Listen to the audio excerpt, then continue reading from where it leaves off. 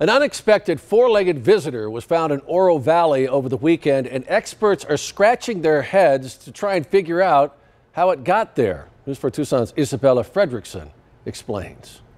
I'm here near Oracle Road in Catalina Shadows Boulevard, where a young black bear cub was rescued over the weekend. Neighbors tell me it was in this exact tree right here behind me where the rescue occurred. Neighbors Courtney and Nicole live just houses away from where the bear was rescued. Courtney says she saw the whole thing and tells me she was quite surprised. It was it was shocking. Like we expect bobcats and javelinas and mountain lions, but not bears. And the fact that it was a baby was cute.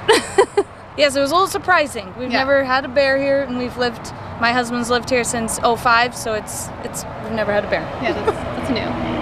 While the neighbors thought the bear cub rescue was cute, experts think the situation is more confusing and concerning than anything.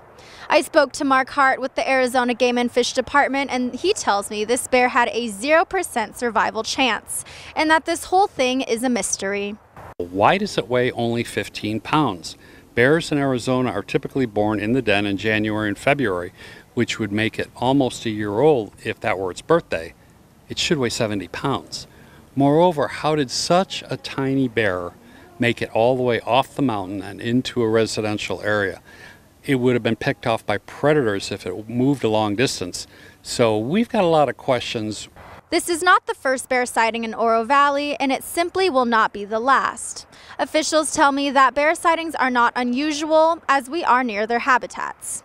AZ Game and Fish tells me there is an estimated 70 bears in the Rincon and Catalina mountain areas, give or take.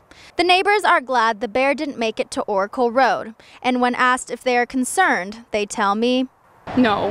No, I have a small dog and I have kids, and no, I'm not worried about it. Not at all. Nope, not worried. Just, we just gotta tell him there might be a bear coming. Yeah. So, good thing he didn't go past Oracle. Yeah, I'm glad he found the tree. It's good. The bear cub's mother was last seen Saturday night and her whereabouts are now unknown. The Arizona Game and Fish Department tells me that the young cub will be transported to Bearizona over in Williams, Arizona for further evaluation. Reporting from Oro Valley, Isabella Fredrickson, News 4 Tucson.